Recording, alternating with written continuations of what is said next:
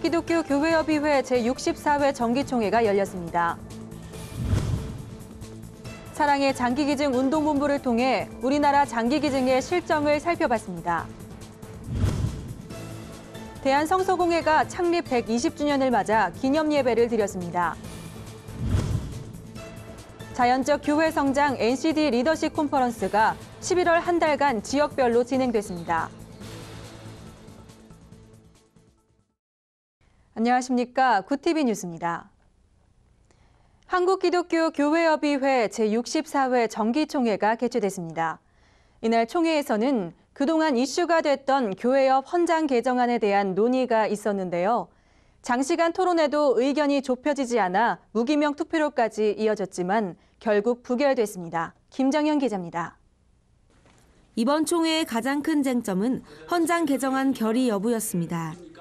헌장 개정안은 헌장위를 거친 후 총회 당일 아침 임시 실행위를 통해 총회 상정이 결정됐습니다. 헌장 개정안에는 종전 4년의 1차 중임이 가능했던 총무 임기를 5년 단임으로 하고 총무 선임을 교단 순환제로 한다는 것, 교단장으로 구성된 임원회를 신설한다는 것 등의 내용이 담겼습니다. 그런데 헌장위원회를 거치며 교단 순환제 앞에 가급적이라는 문구가 추가됐습니다.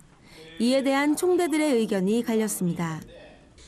이 헌장에 가급적 이게 법적 용어인가?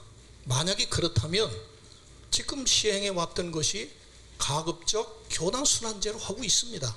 가급적 어, 순환제로 한다고 하는 것은 전체가 할 수도 있고 그것은 또 거기서 이제 앞으로 만드는 것에 따라서 하는 것이니까 또한 신설되는 임원회에 대한 지적도 나왔습니다. 그러면은 NCC의 총무는 무슨 일을 하고 각 위원들은 무슨 일을 합니까? 총무가 일일이 보고해가지고 어 저기 뭐야 임원회 승인을 받아서 하게 된다면은 총무가 무슨 그때 그때 시적절하게 이거 성명서를 발표할 수가 있습니까? 오랜 경론에도 결론이 나지 않자 결국 무기명 비밀 투표가 진행됐습니다. 그러나 전체 139표 중 반대 74표, 찬성 64표, 무효 1표로 개정안 찬성이 의결 정족수 3분의 2에 미치지 못해 헌장 개정안은 부결됐습니다. 예장통합 이용정 사무총장은 제도 개선위를 재구성해 헌장 개정안이 재논의될 수 있도록 허락해달라고 청원했습니다. 제도 개선위원회가 재구성되어서 많은 분들의 동의를 구할 수 있는 그런 합의안을 만들어내도록 허락해 주시면 감사하겠습니다. 한편 교회 협 신임 회장에는 기독교 대한 복음교회 총회장 이동춘 목사가 선임됐습니다. 모든 회원 교회와 함께 교회 연합과 일치, 선교와 전도, 봉사와 예언자적 증인을 위해 봉사하며 맡은 직책에 충실할 것을 이 밖에도 이날 총회에서는 평화 통일을 위한 10개년 과정 정책 제안과 한국사 교과서 국정화 추진에 대한 결의문 채택 등이 논의됐습니다. 구티비 뉴스 김정현입니다. 연말 연시가 다가오면서 어려운 이웃을 위한 사랑 나눔이 이곳저곳 다양하게 펼쳐지고 있는데요. 자신의 장기를 기증하며 이웃에게 사랑을 나누기도 합니다. 이렇듯 장기 기증에 대한 사람들의 인식과 사후 기증 등이 몇 년 전과 비교했을 때 긍정적으로 변화됐지만 아직까지 생존 시 기증에 대한 인식과 나눔은 어렵기만 합니다. 사랑의 장기 기증 운동본부를 통해 우리나라 장기 기증의 실정과 그 사례들을 살펴봤습니다. 지난 11월 초 사랑의 장기 기증 운동본부를 통해 탈북자 주명희 씨의 이야기가 알려졌습니다. 주명희 씨는 그 3년 전에 탈북하신 분인데요. 그 같이 하나원에서 같이 어, 생활했던 그 손하나 씨를 통해서 어, 이식을 받도록 그 약속이 되어 있었습니다. 10월 26일 날 이제 수술 승인 신청서를 손하나 씨가 국립장기이식관리센터, 그러니까 질병관리본부에 제출을 했죠. 근데 이제 그 승인 요청을 했더니 이제 반려가 된 겁니다. 주명희 씨가 신장 이식 수술을 받지 못하는 것은 보호자 동의 서명이 없었고 병원이 아닌 장기본부가 신청한 것이 잘못됐다는 이유였습니다. 장기등 이식에 관한 법률을 보시면 이식의료기관이 아닌 경우에는 그 신청을 하실 수가 없어요. 장기등 이식에 관한 법률에 보호자 동의가 성인인 경우 보호자 동의가 없으면 뭐 승인을 못 불, 불승인한다 그런 건 없는데 병원에서는 수술을 하실 때 보호자가 없으면 수술을 못 하거든요. 의료법에는 보호자가 없어도 수술을 해주게 해주게 돼 있는데 저희가 이제 그 아산병원이 그렇게 보호자가 없어서 못 하겠다 그러는데 저희가 막 그냥 그 해야 된다 막 그렇게 할 수는 없잖아요.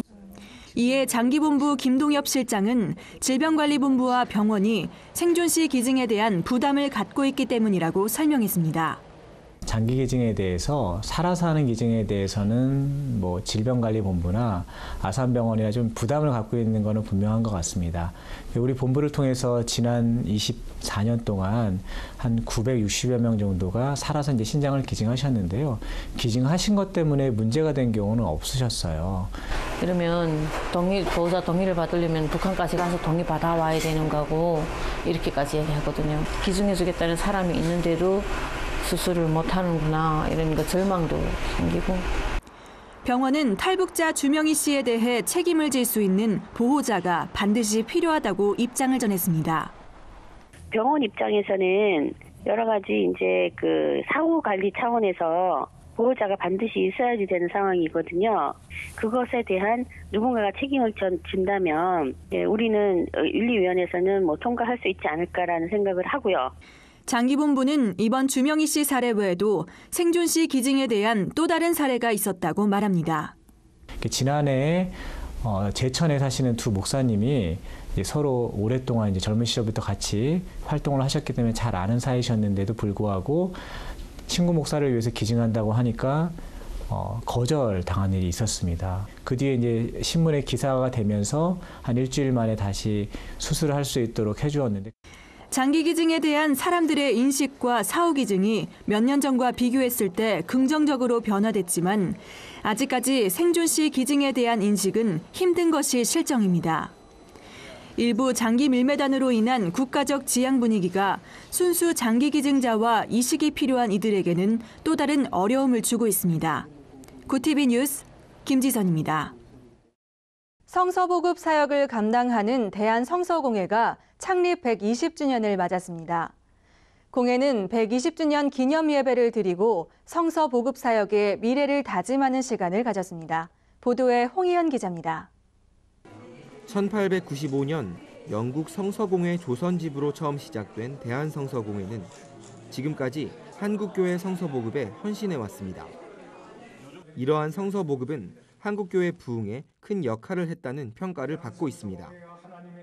우리 조선 땅에 그 복음 전파의 제일 중요한 수단으로 성경을 반포할 수 있도록 전해주신 것이 이것이 우리 한국인 또 한국 교회의 가장 큰 복이라 그렇게 생각을 합니다. 특히 성서공회는 한국 교회를 넘어 해외 성서 보급 사역에도 앞장서 왔습니다. 전 세계 119개 이상의 언어로 총 1억 6천만 권이 넘는 성서를 제작해 해외 선교에 이바지했습니다. 때를 얻든지 못 얻든지 모든 종족에게 반푸하라 하시는 이 말씀을 우리 성서공회는 주야로 이 성경을 제작해서 그리고 반복하는 일을 계속하고 있습니다. 대한성서공회는 앞으로 그림과 사진, 영상 등 다양한 형태의 성서를 제작해 젊은이들이 말씀을 가까이 할 수 있도록 돕겠다는 계획을 밝혔습니다. 2020년에는 이 성경을 인쇄 매체로뿐 아니라 다양한 매체로 보급하여 인쇄 매체를 통해서는 담기 어려웠던 자세한 해설, 사진, 그림, 지도, 동영상 등 많은 자료들을 본문과 함께 제공할 것입니다. 기념 예배에는 각국 성서공회 총무들이 참석해 눈길을 끌었습니다. 탄자니아 성서공회 무쿤가 총무는 축사를 통해 대한성서공회가 기증해준 성소로 많은 이들의 삶이 변할 수 있었다며 앞으로도 세계 성서공회 연합회가 연대 의식을 갖고 협력해 나가기 바란다고 말했습니다. 구티비 뉴스 홍우연입니다. 건강한 교회 성장을 위한 자연적 교회 성장 NCD를 아시나요? NCD는 전 세계적으로 크거나 작은 혹은 성장하거나 쇠퇴하는 교회 등 50개국 1000개 이상의 교회들에게 설문지를 배포해 통계 자료를 내는데요. 이를 통해 객관적이고 과학적인 설문 데이터를 얻어 건강한 교회의 8가지 질적 특성을 밝혀내 교회 성장을 돕고 있습니다. 11월 한 달간 지역별로 진행된 NCD 리더십 컨퍼런스에 다녀왔습니다. 자연적 교회 성장 NCD는 건강한 교회의 8가지 질적 특성이 핵심을 이룹니다. 8가지 질적 특성이란 사역자를 세우는 지도력, 기능적 조직, 영감 있는 예배, 사랑의 관계 등 교회가 건강한 균형을 이룰 수 있는 8가지를 뜻합니다. NCD의 설립자인 크리스천 슈바르츠는 11월 한 달간 서울, 인천, 부산 등 각 지역 교회들을 방문하며 NCD에 대해 직접 강의했습니다. NCD의 가장 직접적인 효과는 교회의 가장 취약한 부분, 당장 시급히 보완돼야 할 부분이 무엇인지 객관적으로 파악할 수 있고 이를 바탕으로 건강한 교회를 세울 수 있다는 점입니다. 크리스천 슈바르츠는 교회가 사람이고 교회를 개발한다는 것은 사람을 개발하는 것이라며 여덟 가지 질적 특성은 교회 건강의 보편적인 것들이며 모든 교인에게 필요한 것이라고 강조했습니다. You need vitamin C and other vitamins to survive. These are the vitamins that every church needs. NCD 리더십 컨퍼런스는 2015년 4월 영국 런던에서 시작돼 2016년 9월까지 전 세계 50여 개 도시를 돌며 진행될 예정입니다. 구티비 뉴스 김지선입니다. 한국교회가 사회를 향한 영향력과 신뢰를 회복하기 위해선 교회와 교단의 건전한 정치가 필수라는 주장이 제기됐습니다. 지난 23일 한국기독교회관 조회홀에서 열린 세미나에서는 현재의 한국교회의 교회법만으로는 분쟁을 해결할 수 없어 사회 법정으로 가는 사례가 빈번하다는 지적과 함께 분쟁의 해결을 위해서는 목회자의 역할 회복이 필요하다는 주장도 함께 제기됐습니다. 이날 발제한 임성빈 교수는 성도가 성도다운 정체성을 지니기 못했기 때문만이 아니라 중요한 소임을 가진 교회 지도자들이 그 역할을 다하지 않았기 때문에 사실상 교회 정치를 주도하는 목회자들과 장로들의 갱신이 필요하다고 강조했습니다. 이와 함께 임 교수는 교회의 분쟁을 위해서는 종교개혁 정신의 회복, 목회자들의 바람직한 힘의 사용, 위계적 권위 구조의 극복 등이 절실하다고 진단했습니다. 또한 소수의 지도자들이 의사 결정권을 남용하고 독점하는 일에 우려와 실망감이 커지고 있는 시대에 성경적 원리들을 존중하면서도 하나님 나라 실현을 위한 회중들의 참여를 담보하는 방안들을 적극적으로 모색해야 할 것이라고 당부했습니다. 이날 세미나에서는 임성빈 교수 외에 권현서 장로가 개정된 총회헌법 제3편 권징의 주요 내용을 김영훈 박사가 올바른 재판을 위한 법의 제정과 해석 및 적용을 김성빌 박사가 하나님의 법과 인본주의의 문화의 특징 등을 주제로 각각 강의를 진행했습니다. 주요 단신입니다.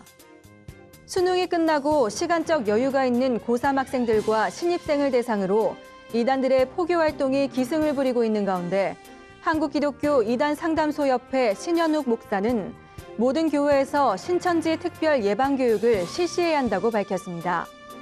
신 목사에 따르면 신천지는 주로 각종 설문지를 통해 학교 앞, 지하철, 번화가 등에서 접근하기 때문에 이름이나 연락처 등 개인의 신상 정보를 제공하면 안 된다고 강조했습니다. 전병훈 목사가 소속돼 있는 예장합동 평양노회의 노회장이 전 목사를 보호하겠다는 발언을 한 사실이 알려져 파장이 예상되고 있습니다. 예장합동 평양노회장 김진아 목사는 지난 22일 홍대 세교회에서 열린 평양노회 가입 감사 예배에서 많은 사람들이 홍대 세교회를 공격하고 전병훈 목사를 공격하지만 우리 평양노회는 보호하고 지킬 것이라며 홍대 세교회가 한국의 청년 문화를 새로 끌어가는 귀한 교회가 되도록 힘껏 밀어주겠다고 말했습니다. 교단 총회 결의에 따라 네달중 전 목사의 재판을 매듭지어야 하는 노회 대표로서 부적절한 처신이 아니었나는 지적이 제기되고 있습니다.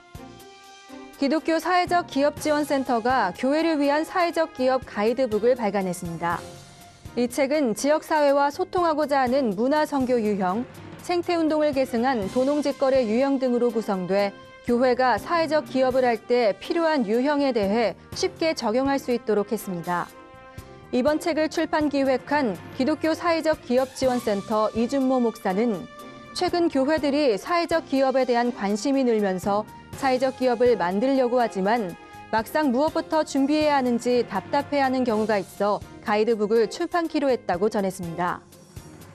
말씀을 담은 크리스천 감성 디자인 문구 그레이스 벨이 오는 12월 2일부터 5일간 삼성동 코에스에서 진행되는 서울 디자인 페스티벌에 참가해 기독교 관련 문구를 선보입니다. 그레이스 벨은 생활 속에 숨어 있는 디자인에 말씀을 담아 20, 30대 여성층을 타깃으로 트렌디한 제품을 만들어 크리스천뿐 아니라 믿지 않는 이에게도 큰 호응을 얻고 있습니다. 그레이스벨 임동규 대표는 그레이스벨을 통해 성도와 청년들이 말씀을 가지고 세상 속에서도 해낼 수 있다는 도전과 용기를 주는 시간이 될 것이라고 말했습니다. 이상으로 구티비 뉴스를 마칩니다. 시청해주셔서 감사합니다.